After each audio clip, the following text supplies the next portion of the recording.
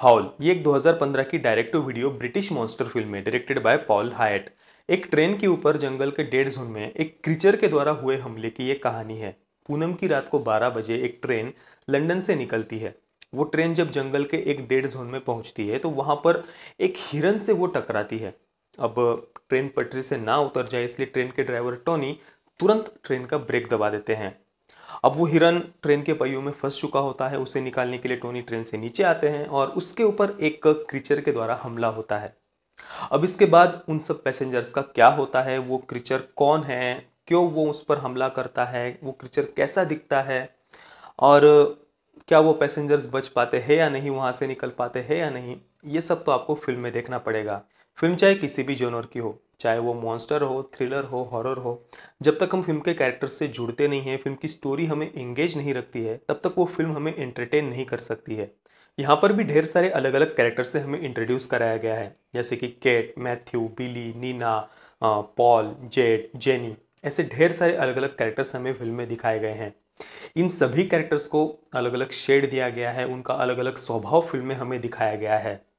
और जब इन सब कैरेक्टर से हमें इंट्रोड्यूस कराया जाता है फ़िल्म के शुरुआत के 30 मिनट में, वो पार्ट मुझे फ़िल्म में बहुत पसंद आया।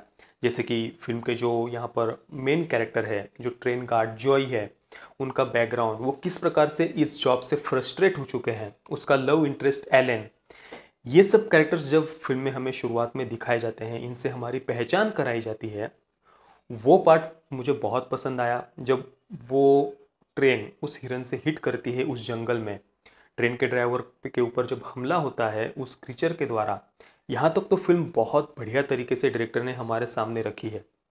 इसके बाद भी फ़िल्म के एंडिंग तक फ़िल्म मुझे ठीक लगी मतलब जिस प्रकार से हमें बीच बीच में डराने की कोशिश की है, उस क्रीचर को जब हम एक्सप्लोर कर रहे होते हैं कि आखिर वो क्या चीज़ है, किस चीज़ के द्वारा यहाँ पर हमला हो रहा है, वो पार्ट भी हमें फ़िल्म में एंगेज रखता है। लेकिन एक छोटी सी गलती जो मुझे यहाँ पर लगी, वो है फ़िल्म के कैरेक्टर्स उनको उतना अच्छी तरीके से लिखा नहीं गया है, ना ही उनके डायलॉग्स उतने बढ़िया तरीके से लिखे गए हैं। कई सारे सीन्स ऐसे हैं फ़िल्म में, उन सीन्स पर वो कैरेक्टर्स जिस प्रकार से रिएक्ट करते हैं ना, वो हमें बिल्कुल ही इलॉजिकल लगता है। मतलब अगर हम अपने आप को उस जगह पर रखें तो बिल्कुल ही हमें ऐसा लगता है कि यार ऐसे थोड़ी ना, ऐसी कंडीशन में ये कैरेक्टर ऐसे कैसे बोल सकता है? और जिस कैरेक्टर को यहाँ पर एक थोड़ा सा निगेटिव शेड दिया गया है, अब वो कौन है, वो आप फ़िल्म में ही देखिए। वो कैरेक्टर भी जिस प्रकार से उसको निगेटिव शेड देने की कोशिश की है डायरेक्टर ने, वो किसी भी एंगल से मुझे मतलब निगेटिव उतना लगता ही नहीं हमें। उल्टा वही कैरेक्टर सबसे ज़्यादा समझदार उस ट्रेन में मुझे लगा। मतलब ठीक तरीके से उसको निगेटिव शेड डायरेक्टर देने में बिल्कुल नाकामयाब रहे हैं। अब देखिए ट्रेन टू बुसान, बिल्कुल, अब वो तो उसके बाद आई है ट्रेन टू बुसान, लेकिन वहाँ पर जिस कैरेक्टर को निगेटिव शेड दिया गया है, उसे देखकर रियली हम फ्रस्ट्रेट हो जाते हैं, अंदर से हमारे एकदम चिढ़ जाते हैं कि यार कैसा आदमी है ये। तो डायरेक्टर ने उस कैरेक्टर को बहुत बहुत बढ़िया तरीके से हमारे सामने रखा है। तो वो बात इस फ़िल्म में मुझे नज़र नहीं आई। कैरेक्टर से हम उतना बढ़िया तरीके से जुड़ते नहीं हैं। बहुत सारे कैरेक्टर्स हमें कुछ जगहों पर बिल्कुल ही इलॉजिकल लगने लगते हैं, जिस प्रकार से वो रिएक्ट करते हैं इन सब बातों के ऊपर। निगेटिव कैरेक्टर है, वो भी बिल्कुल ही कमज़ोर तरीके से लिखा गया है। वो कहीं पर भी हमें निगेटिव नहीं लगता है। जो मेन कैरेक्टर है जॉय वो जिस प्रकार से इस सिचुएशन को हैंडल करता है। कहीं पर भी वो मेन कैरेक्टर है लीडरशिप क्वालिटी उसमें कहीं पर भी नज़र नहीं आती कि वो सबको बचा रहा है।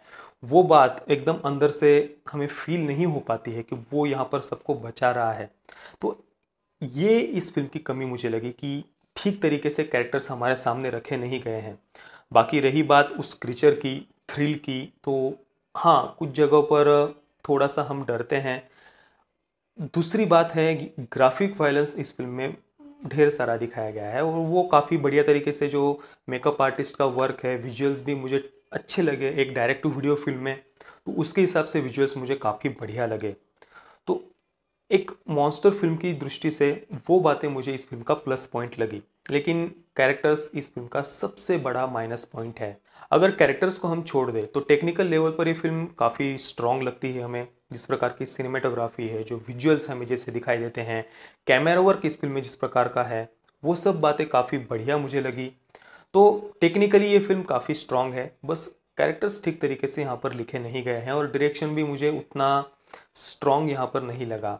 लेकिन अगर ओवरऑल फ़िल्म की हम बात करें तो फ़िल्म हमें उतना डिसअपॉइंट भी नहीं करती है।